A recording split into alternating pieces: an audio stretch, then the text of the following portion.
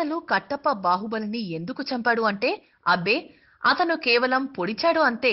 ఎక్కడ చంపాడు అంటూ రైటర్ విజేంద్ర ప్రసాద్ ఆల్రెడీ ఒక కమెంట్ చేశాడు. ఇప్పుడు అదే నిజమేమో అనిపిస్తోంది. ఎందుకంటే సెన్సార్ బోర్డులో సినిమా చేశాక అక్కడి నుండి లీక్ అయిన కొత్త టాక్ను బట్టి చూస్తుంటే సీనియర్ బాహుబలి బ్రతికే ఉన్నాడని చెప్పొచ్చేమో.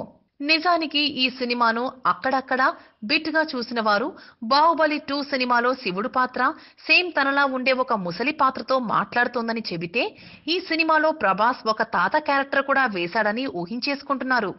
కాకపోతే సినిమాలో శివుడు తండ్రి క్యారెక్టర్ అమరేంద్ర బాహుబలిని ప్రభాసే వేశాడు కానీ అమరేంద్ర తండ్రి విక్రమదేవ క్యారెక్టర్ మాత్రం వేరే ఎవరో చేశారు. ఆయన ఫోటో ఒకటి మనకు పెయింటింగ్ రూపంలో సినిమాలో కనబడుతుంది కూడా.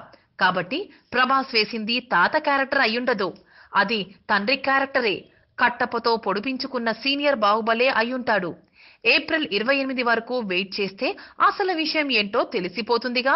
ఆల్రెడీ ఈ రోజుతో సెన్సార్ వర్క్ పూర్తయి ఫైనల్ టచ్అప్స్ కూడా అయిపోవడంతో రాజమౌళి ఆల్రెడీ ఊపిరి పీల్చుకున్నాడు. ఇది సంగతి.